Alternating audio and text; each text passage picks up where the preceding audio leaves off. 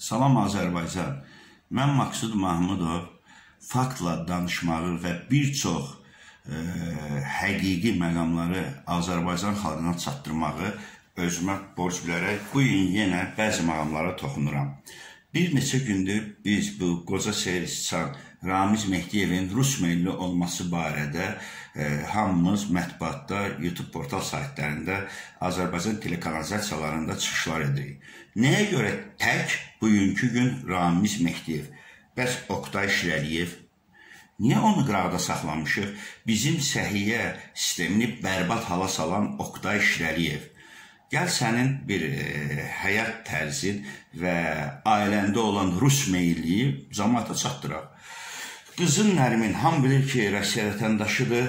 O 23 yaşında e, deməli özündən 29 yaş böyük Yevgeni e, rejissor Yevgeni Osipovla, Osenburgla ailə həyatı qurmuşdu. Yəni bu onun şəxsi işidir. İndi kimlə qrup siz bunu elita sayırsınız. Ruslara, xristianlara, qızlarınızı, oğlanlarınıza arvad almağı bilməyi. Yaxşı. Gəlin bəzi məqamlara satışaq. Sənin Nərmin qızın hamı bilir ki, 2012-ci ildə Putinin seçki kampaniyasının fəal üzvlərindən biri olub. Bu da onun öz işidir. Olub olub da, yaxşı ay Oqtay işləri, ay Şamaxlı balası.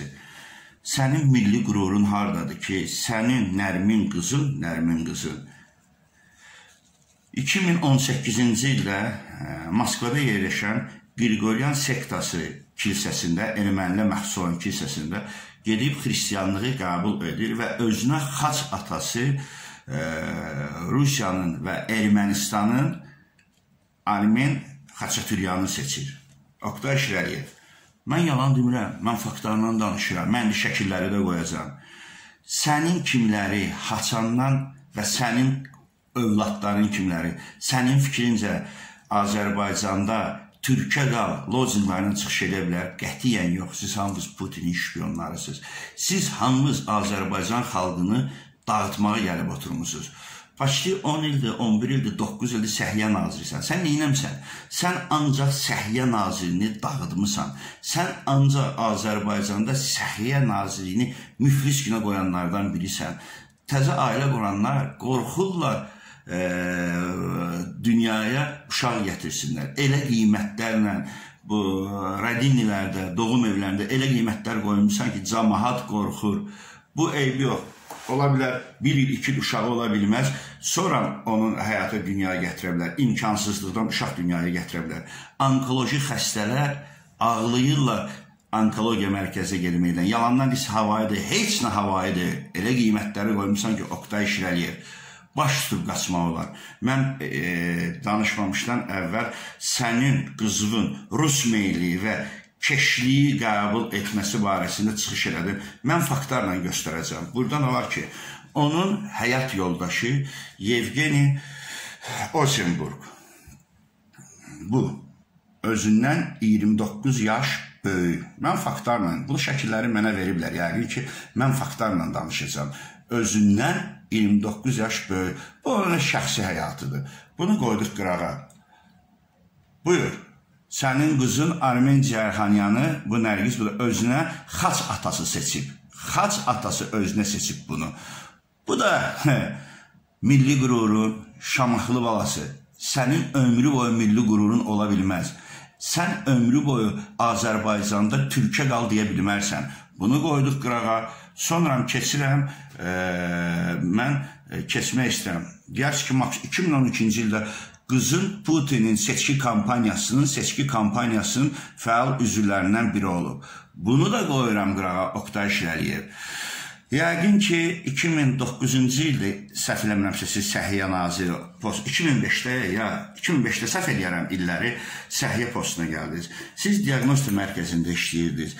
Siz orada e, Səhiyyə naziri gələn kimi öz köhnə sevgilinizi, öz köhnə sevgilinizi mən faktla bunu deyirəm Nigar Əliyevanı gətirdiniz, qoydunuz. Halbuki adi bir həkim idi. Gətirdiniz, qoydunuz Səhiyyə Nazirinin mavini. Səhiyyə Nazirini çöktürənlərdən biri Nigar Əliyeva, Oqtay Şireliyev. Mən hamısını bilirsiniz ki, faktla danışıram. Bu nə qədər olacaq? Heç olmasa da bir milli qürur var, Oqtay Şəriyev. Həmin bu nigar, bu nigar çökdürdü səhiyyə sistemini, səndən əlbir olub. O, o qədər rüşvətlər yığdı ki, artıq sən heç kim oldun. Qərarları hamı bilir ki, Səhiyyə Nazirliyində nigar verir. Oktay Şirəliyev.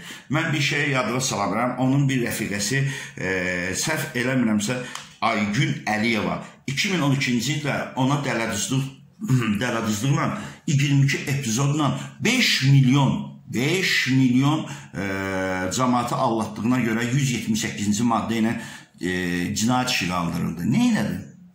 Həmin sənin mavinin onu örtbasdır elədi. Həmin Aygün e, Əliyeva e, məhkəməsində belə bir frazalar işlətdi ki, mənə heç nə edə bilmərsiniz. Bu, bu pulların hamısı Səhiyyə Naziri Nigar Əliyeva çatıb. Bilirsiniz o nələrlə məşğul idi?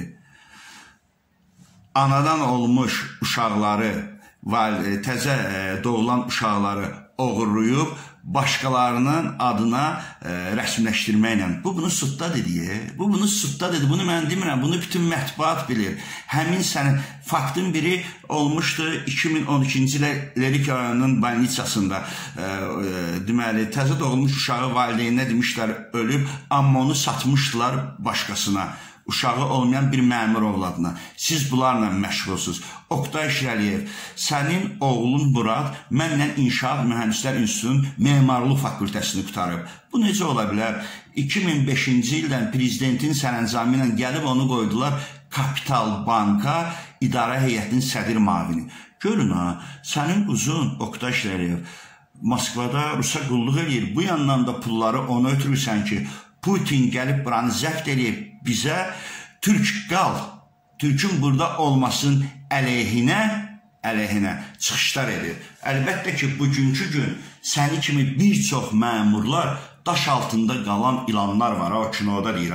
Siz daş altında qalmış ilan, ilanlarsınız, Oktay, Şə, Oktay Şərif. Sizin maskalarınız cırılmalı ki, qoy xalq bilsin ki, bugünkü gün bir daha sizin kimi Rus fərəsli mundar nazirlər postda oturublar. Tək bu qoza Mazelli Seyristan Ramiz Mehdiyev deyil. Sizlər o qədər şaxələnmisiniz ki, İlham Əliyev daha sizlə bacarmır, İlham Əliyev. Mən sənə demirəm, e, səni tərif cəmaat bəlkə də elə başa düşər ki, mən sənə dəstək oluram. Birinci, birinci, şəxsən mən deyirəm İlham Əliyev sən postunu izdavat edib getməlisən. Sən gör necə başını itirmisən ki, sənin səhiyyə nazirindən tutmuş, prezident aparatının rəhbərindən tutmuş, köhnə MTN-dən tutmuş bütün nazirlərin Rusa qulluq edir, Rusa pul verir ki, Azərbaycan xalqı Paçlıyuşa 30 olacaq öz Qarabağ torpağını almasın. Nə qədər ki, Rusun barmağı sizin bir yerinizdədir İlham Əliyev, biz Qarabağı ala bilməyəcəyik. Heç olmasa indi ayrılın, Qoyun Türk ordusu Azərbaycanda gəlib burada hərbi bazalarını yaratsın və biz tezliklə Qarabağımızı alaq. Oktay Şirəliyev kimi daş altında gizlincə yatan çoramal ilanlarla biz heç nə ala bilməyəcəyik. Mənim danışdıqlarım həqiqətdir, mənim danışdıqlarım faktdır. Sağ olun əziz izləyicilərim.